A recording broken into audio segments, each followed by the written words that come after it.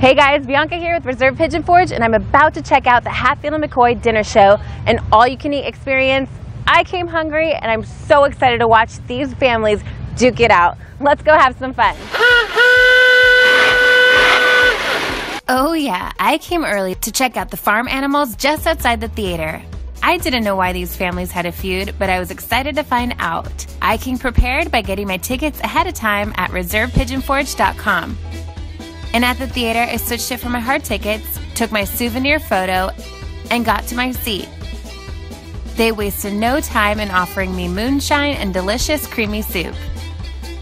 All right, got some backstage access with one of the cast members of the show. Hi, Bianca. I'm Mayor Timothy P. O'Reilly, or you can call me Cousin Timmy.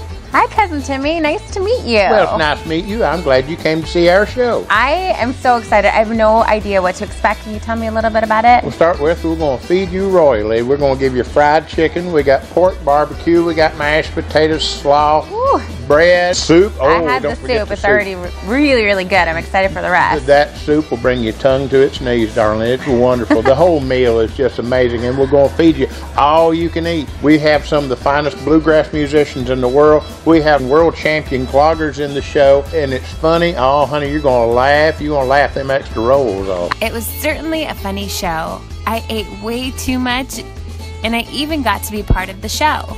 I had a great time with the Hatfields and McCoys. And that was such a fun show. You guys have to check it out. There was not a dull moment. On behalf of myself and the team at Reserve Pigeon Forge, we'll see you guys next time. I'm going to get back to my moonshine.